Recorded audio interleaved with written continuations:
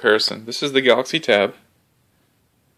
When I hold two axes over each other, it's really smooth. Now, on the 2013 Nexus 7, look what happens.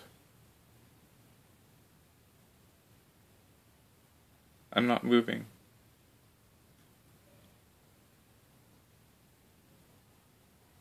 Again, here's the next, the Galaxy 10. See how smooth that is? The Nexus 7.